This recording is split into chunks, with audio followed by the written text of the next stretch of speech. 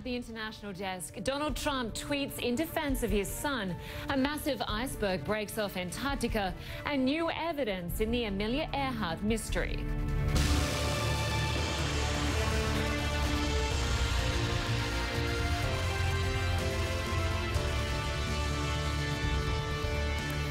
Welcome. I'm Lynda Kinkade. We begin with the White House in damage control after a bombshell from the president's son releasing emails leading up to a meeting with a Russian lawyer. Donald Trump Jr. took to the airways to downplay that meeting that promised damaging information on Hillary Clinton. Trump Jr. said in a Fox News interview he would have done things differently.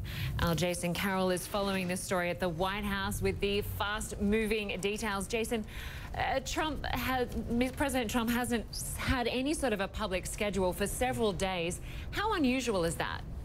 Well, if you talk to this uh, folks within the administration, they'll basically say, look, he didn't get enough downtime after the G20 uh, summit and needed some of that. But then you also remember then candidate Trump, who was very critical of Hillary Clinton, saying she didn't have the stamina for the job.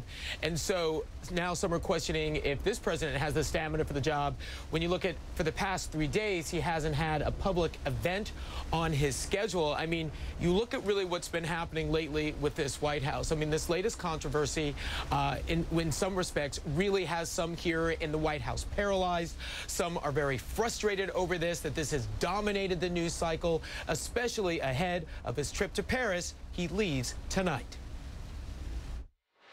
In retrospect, I probably would have done things a little differently. For me, this was opposition research. Donald Trump Jr. confronting the ever worsening controversy that has his father's administration in full crisis mode. Multiple outlets describing the president's growing exasperation with the Russian revelations and suspicion and finger pointing between his closest West Wing advisors. The behind the scenes turmoil described to the Washington Post as a Category 5 hurricane, a characterization the president's lawyer lawyer refutes. This is a category zero. So this idea that this has consumed the White House is false. The White House on the defensive after Trump Jr. released a series of bombshell emails he had in June of last year with music publicist Rob Goldstone about setting up a meeting with a Russian government attorney.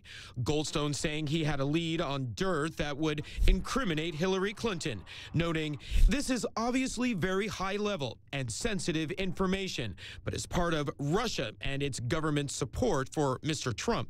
Trump Jr. replying, If it is what you say, I love it, especially later in the summer. Now, someone sent me an email.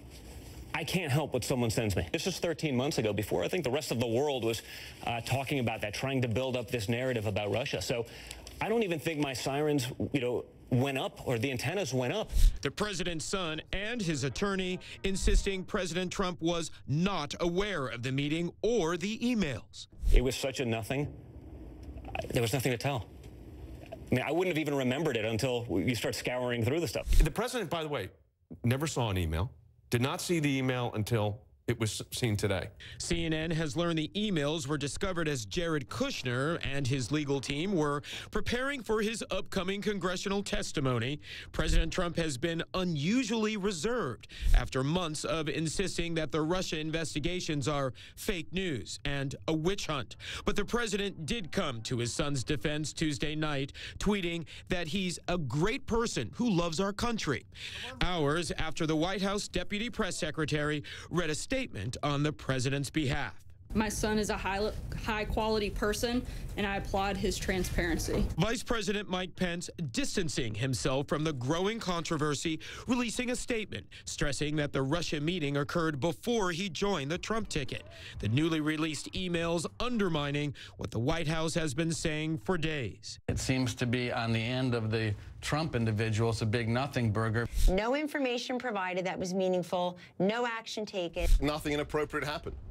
There's nothing inappropriate. A number of lawmakers on Capitol Hill disagree. Definitely, he has to testify. That email is disturbing. We're now beyond obstruction of justice in terms of what's being investigated. This is moving into perjury, false statements, uh, and even into potentially treason.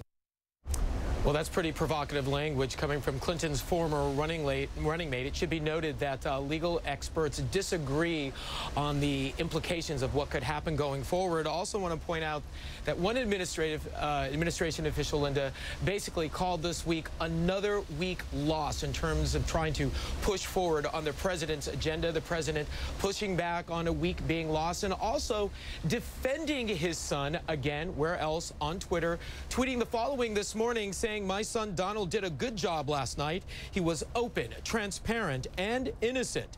This is the greatest witch hunt in political history. Sad. In terms of transparency, it should be noted in terms of releasing those emails. Remember that uh, Donald Trump Jr. said he put out those emails to be transparent about this, but it should be noted that uh, some of his critics say, look, the only reason why he put out those emails is because the New York Times was going to do it first. Lynda? Exactly. Jason Carroll at the White House, thank you very much.